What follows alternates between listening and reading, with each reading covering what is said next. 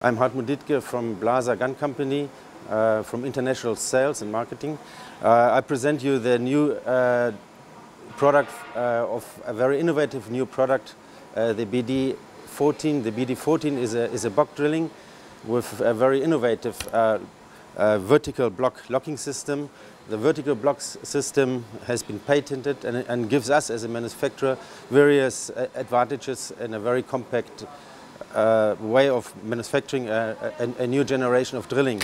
Further, the drilling has uh, free floating barrels, as you can see. Each barrel can be adjusted via a, a, collet at the muzzle and additional adjustment can be made under, under collet under, under the barrel breech.